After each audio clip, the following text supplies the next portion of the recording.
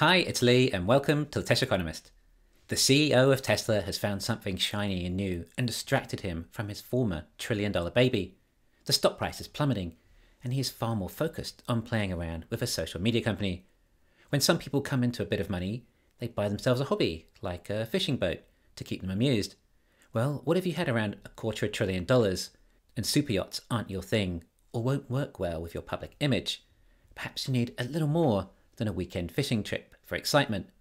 Perhaps you need to buy the core of the media and have fun with that. Twitter and Elon are in the headlines everywhere with all the mainstream media. Lots of bad press for Elon and, by association, Elon's ventures.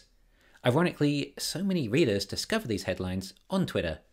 The media are bad mouthing Elon, but he gives them a platform to do so.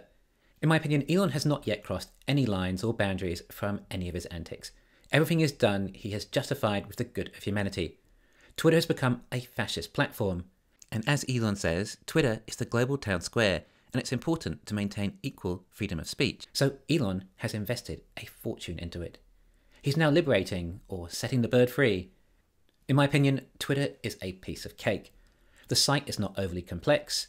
One good coder could build it themselves in a few months. Then perhaps some other coders working on some algorithms and others on spam and bots. Then a good server support team. The entire business could be run by fewer than 100 people, in my opinion. But the Twitter business model isn't great. It's advertising, and then you are somewhat at the mercy of your advertisers. They may want to persuade you somewhat with their big budgets in how you influence people. The business model is what it is, and the self interest is not pointing at the benefit of the user. Or, as they say, if you're not paying for the product, you are the product. And Elon has already made a payable option, a new revenue stream, but it's still not going to be enough. Even if there were 10 million people paying, then it's not even a billion dollars a year coming in. We can imagine all sorts of progress that we might see as the app finally has someone who can evolve it, and it's not being drowned in politics.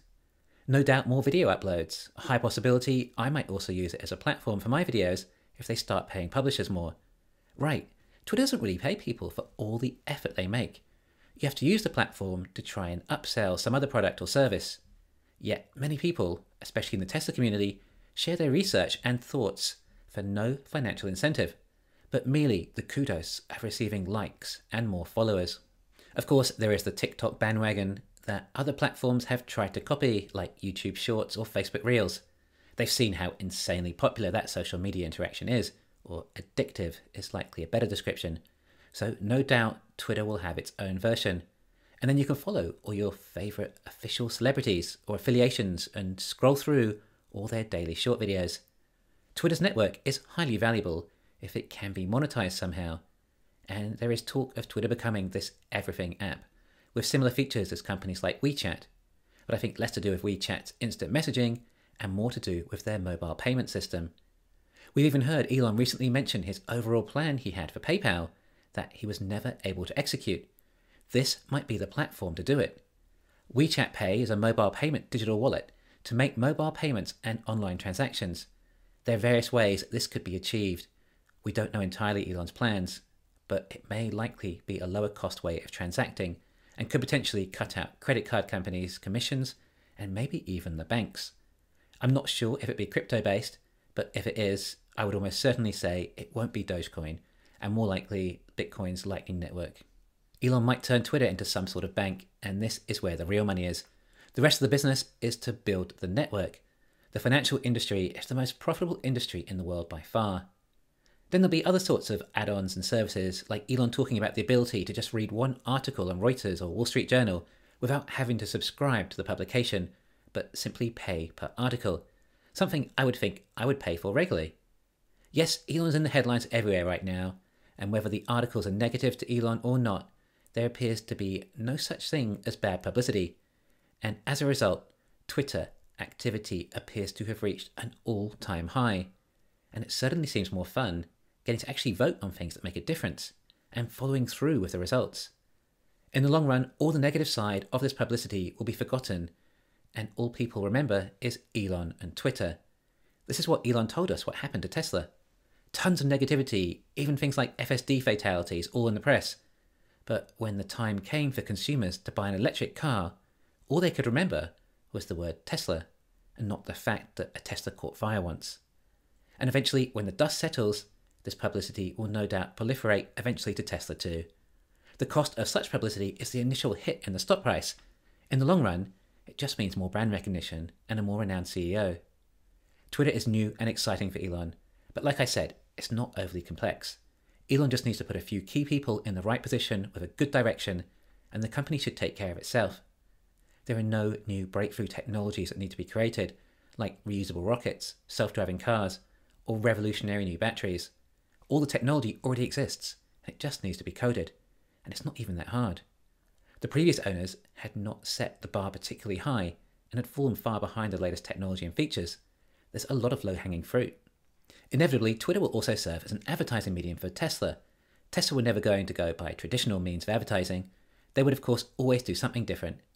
But Elon vertically integrating the advertising by promoting Tesla through one of his own companies.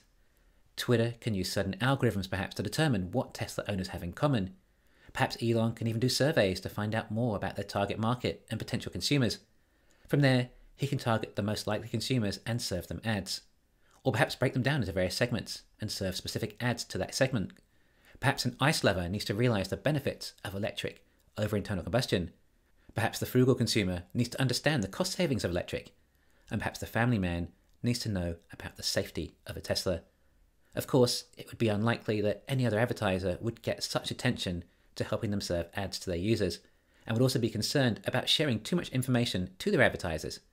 Whereas in this case, I don't think Elon would mind. Then the possibility that the Twitter app may even integrate with the Robotaxi app. What a combination! A highly profitable business model linked to a massive network of customers on an app already.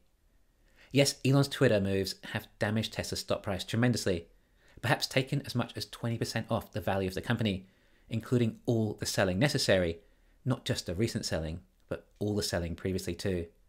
But eventually the market will recover that, and then Elon will put Twitter in good hands and with a new competent CEO who shares Elon's vision and can execute successfully. Elon may even float Twitter back on the market and rebuy into Tesla. Then Elon can return his concentration back to Tesla and SpaceX. Although there's always the possibility that if Elon is able to spend this much time on focusing on Twitter, then it means that Tesla is already in great hands and everything is going well enough without as much involvement from Elon.